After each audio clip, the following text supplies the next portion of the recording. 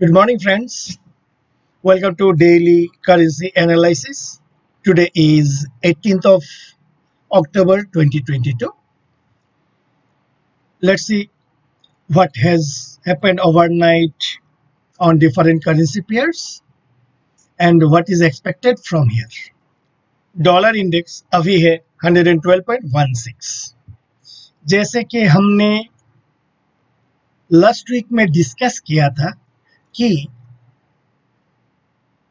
Fourth अक्टूबर के लो के बाद जो बाउंस अपवर्ड बाउंस दिया हुआ है, उस बाउंस के जो पिक बनाने वाले हैं, क्या ये पिक प्रीवियस स्विंग हाई को प्रीवियस पिक को ब्रेक करके ऊपर क्लोज देगा या fail to break the swing high ये यहाँ पे साइड में आप देखो कि एक आपका ड्राइंग्स किया हुआ है। ये जो पीक है 28 सितंबर का, ये आपका 28 सितंबर का पीक है एंड आपका ये जो 30 अक्टूबर का हाई है, ये है आपका 30 अक्टूबर का high so that being the case as the picture depicts यहाँ पे हायर हाई बना नहीं पाया एज ऑफ़ नाउ देन हमारा टारगेट क्या रहेगा? हमारा टारगेट यहाँ पे रहेगा कि स्विंग लो को ब्रेक करता है या नहीं. अभी ये जो स्विंग लो है कहाँ पे है? ये है 110.10 लेवल पे है. ये हमारा इंतज़ार रहेगा ये जो स्विंग हाई है, ये स्विंग हाई को ब्रेक करने के लिए। एक बार अगर स्विंग हाई को ब्रेक करके नीचे क्लोज दिया and next day follow through सिर्फ़ ब्रेक डाउन या ब्रेकआउट करने से नहीं होगा next follow through is most essential उसके बाद वाले दिन अगर नीचे के तरफ़ फॉलो थ्रू मिलता है इन सच सिनारियो हमारा जो नेक्स्ट टारगेट हो सकता है, वो है 107 की तरफ़।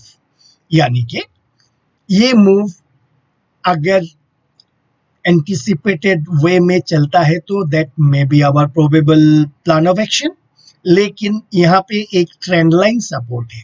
ये जो slanting trend line support with 45 degree angle है this is a very strong support level यानी इसको नीचे के तरफ़ ब्रेक डाउन करेगा फॉलो थ्रू करेगा then and only then we can expect 110.10 के आसपास। डॉलर रुपी में काफ़ी कंसोलिडेशन हो रहा है। यहाँ पे आप देखोगे कि पहले आपका 80.00 से 80.25 के बीच में एक रेजिस्टेंस लेवल था।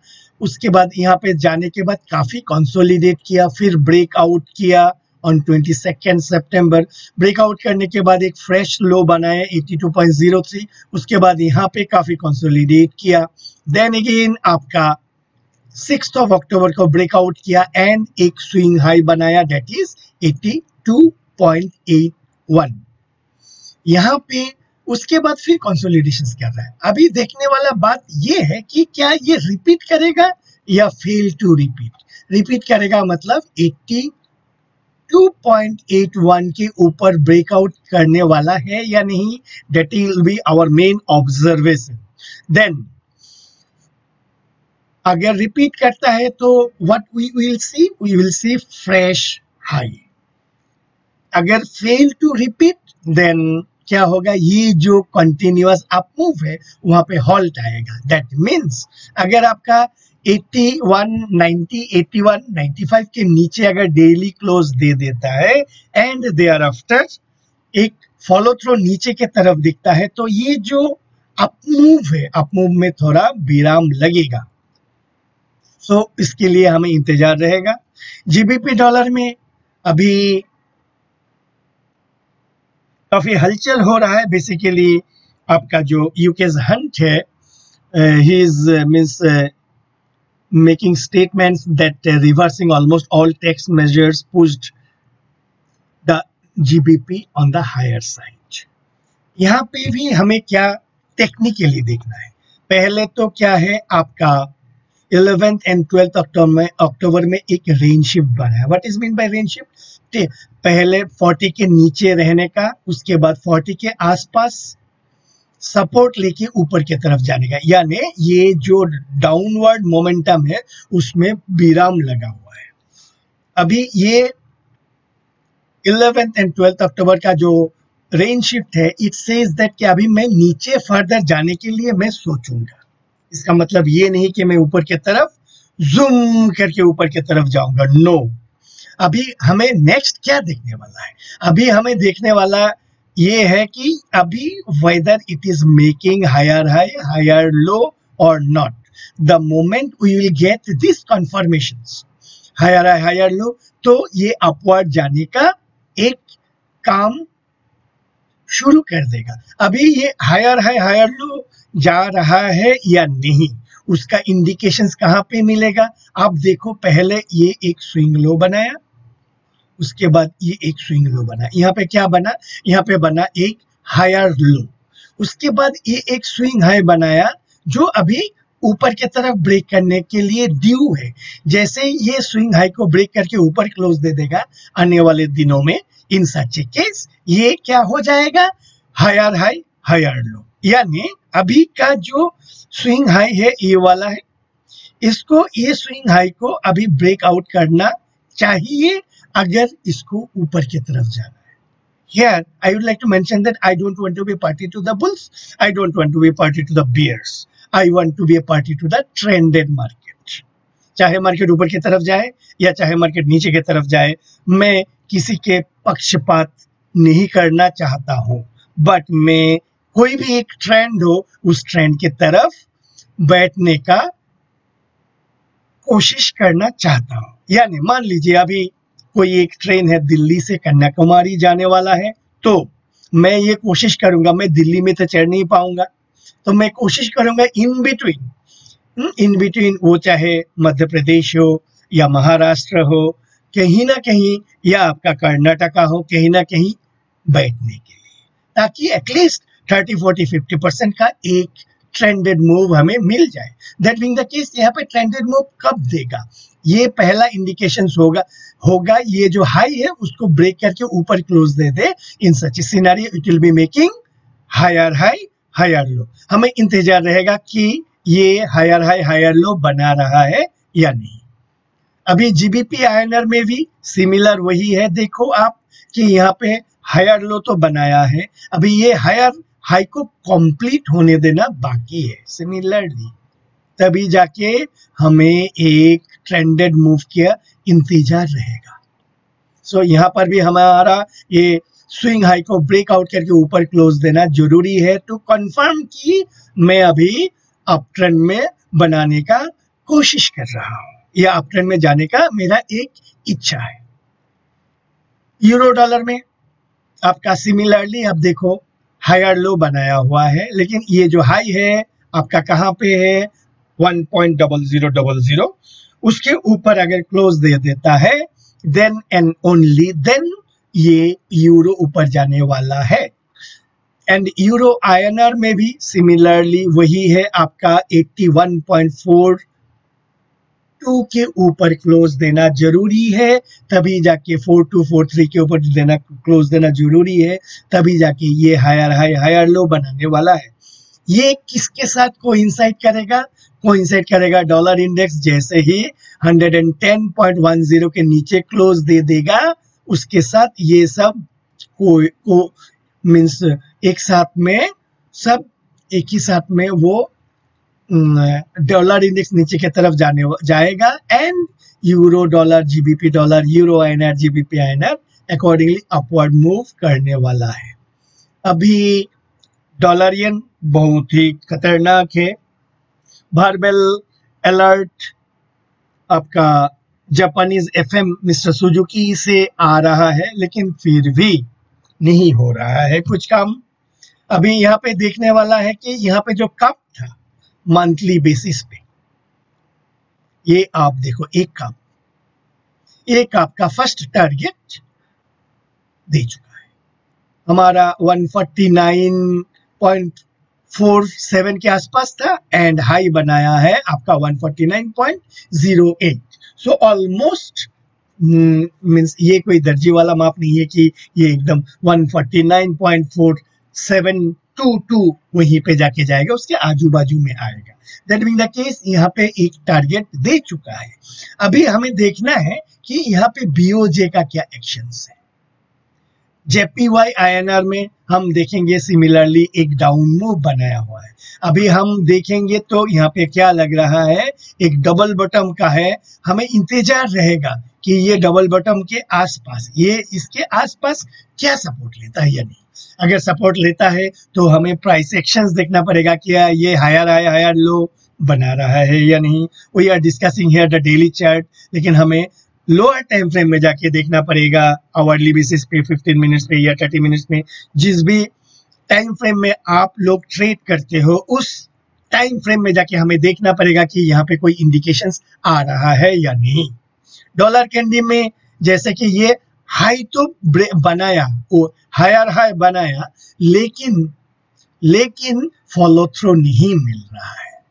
फॉलो थ्रो मिलना ज़रूरी है अदरवाइज़ यहाँ पे क्या है? आपका एक सीरीज़ ऑफ़ डाइवर्जेंसेस है।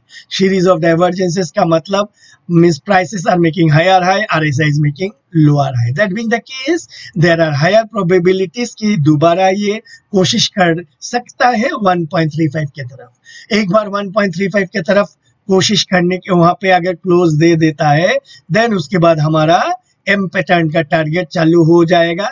यानी 135 के नीचे हमारा जो नेक्स्ट टारगेट हो सकता है, वो होगा 131 के आसपास। तो पहले हमें इंतज़ार रहेगा। आउटसाइड इनसाइड बोलिए, या सीरीज़ और डाइवर्जेंस बोलिए, उसका जो टारगेट है, वो है 135 क्या ये उधर जा रहा है या नहीं?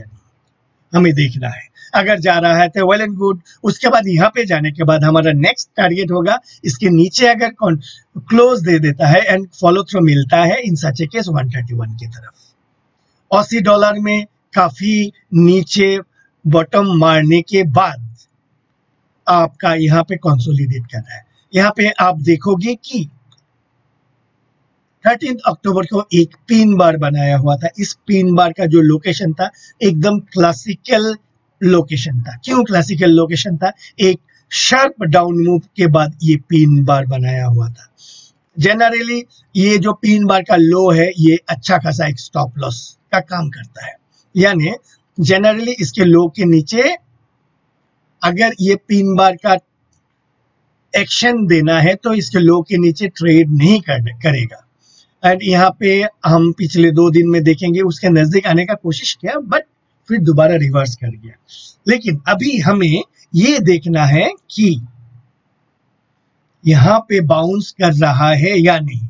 एक बाउंस का और एक ये है कि आरएसआई जो 14 रेगुलर आरएसआई है, ये ट्रेंड लाइन एक रेजिस्टेंस बनाया हुआ है। इसके ऊपर अगर आरएसआई क्लोज दे देता है इन सच ए केस अस्सी डॉलर में हम कुछ बाउंस एक्सपेक्ट कर सकते हैं। फ़िलहाल यहाँ पे कंसोलिडेट होने दीजिए, उसके बाद हायर हाई हायर लो, बनाने दीजिए। पहले हायर लो बनेगा, फिर हायर हाई बनेगा, बनाने दीजिए। Then and only then we can think about कि यहाँ से बॉटम आउट हो चुका है। उससे पहले हमें यहाँ पे इंतज़ार करना पड़ेगा। फिर हम देखते हैं आपका C N H C N H में भी यहाँ पे आपका सीरीज़ ऑफ़ डाइवर्जेंस या आपका यहाँ पे आउटसाइड इनसाइड दोनों ही बना रहा है। अभी हमें इंतज़ार रहेगा कि यहाँ पे डाउन मूव अगर देता है तो क्या ये 7.02 के आसपास आता है या नहीं? 7.02 में आएगा तो आपका नेक्स्ट फिर एम पैटर्न का टारगेट चालू हो सकता है। तो हमें प्राइस सेक्शंस देखना है। लेकिन यहाँ पे हमारा और एक हायर टाइम फ्रेम में जो खतरनाक चीज़ है, वो खतरनाक चीज़ है आपका मंथली क्लोज एबोव 7.26 ये हाई के ऊपर देना नहीं चाहिए। प्रीवियस लेग स्विंग हाई मारा था 7.2650 उसके ऊपर मंथली क्लोज देना नहीं चाहिए। नहीं तो फिर ये ये आपका कप का टारगेट दैट इज़ 8.10 के तरफ़ मारेगा। ये अगर इधर होता है मंथली टाइम फ्रेम में तो डॉलर रुपी का भी अकॉर्डिंगली हमें सोचना पड़ेगा। अभी यूके ऑयल यूके ऑयल हम क्या देख रहे थे कि यहाँ पे आपका सेवेंथ ऑफ़ अक्टूबर को ब्रेकआउट किया था ये ट्रेंड चैनल को, फिर टेंथ ऑफ़ अक्टूबर को दोबारा ये नीचे रेजिस्टेंस मार के नीचे आया, फिर इलेवेंथ ऑफ़ अक्टूबर को चैनल के नीचे आ चुका है। Then that being the case ये false it is considered as a false breakout false breakout का एक कंडीशन होता है कि अगर ऐसा फॉल्स ब्रेकआउट होता है तो ये इमीडिएटली लोअर एंड में आने का प्रोबेबिलिटी है। दैट बिंग द केस पहले हमें ये जो स्विंग लो है 83 50 70 के आसपास, वहाँ पे आने का एक चांसेस है। एंड फर्दर अगर कुछ फेवरेबल कंडीशंस आता है तो देन ये लोअर एंड द चैनल में आने का प्रोबेबिलिटीज कर सकता है। आइए अभी देखते हैं US ten treasury US ten treasury में हम यहाँ पे देख रहे थे कि ये स्विंग हाई को तोड़ेगा या नहीं। अभी as of now swing high को तोड़ चुका है। यहाँ पे स्विंग हाई को तोड़ के एक नया हाई बना चुका है। तो ये जो lower high lower low lower low का वो फॉर्मेशन फ़िलहाल है नहीं। अभी हमें देखना है कि ये जो डाइवर्जेंस है एंड आउटसाइड इनसाइड है, क्या इसका रिज़ल्ट देखा या नहीं? पहले तो ये है डाइवर्जेंस हालाँकि यहाँ पे मल्टीपल नंबर ऑफ़ कैंडल्स है नंबर ऑफ़ कैंडल्स के हिसाब से the divergence is there and also outside, inside is there क्या?